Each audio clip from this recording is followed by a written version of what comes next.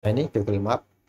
Jadi sebelum kita update sahabatku perlu menghapus semua sahabat penyimpanan update Google Map terbaru 2022 ya. Jadi untuk sahabatku perlu diupdate aplikasi Google Map ya. Pasti sahabatku pernah kan melihat lokasi di Google Map kita tidak sesuai ya ataupun kita salah. Jadi ini itu pertanda karena Google Map sahabat itu tidak pernah sahabat update ya.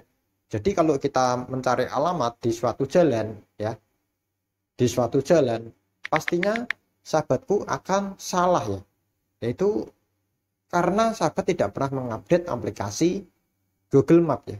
Makanya kurang akurat untuk lokasi jalan ya.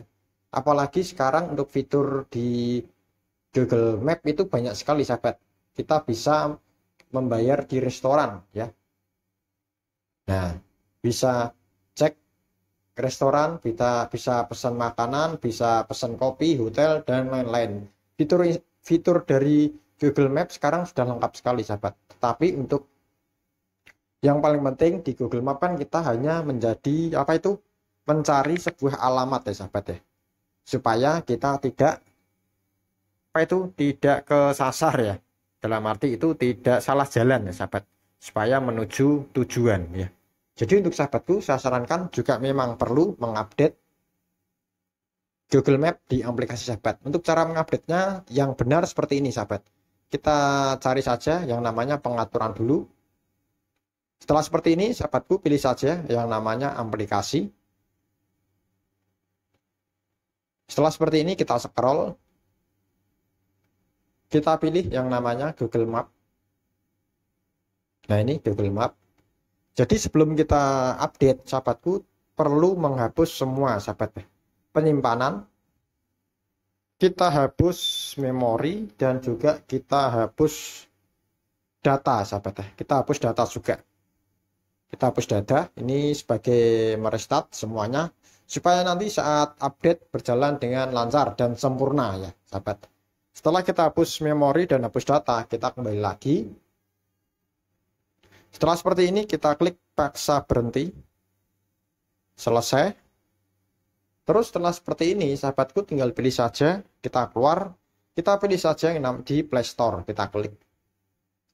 Nah di Play Store kita bisa tuliskan saja untuk Google Map. Google Map akan muncul. Nah, seperti ini akan ada tulisannya update. Kita klik. Nah, sahabatku disuruh untuk update ya. Jadi kita update Google Map.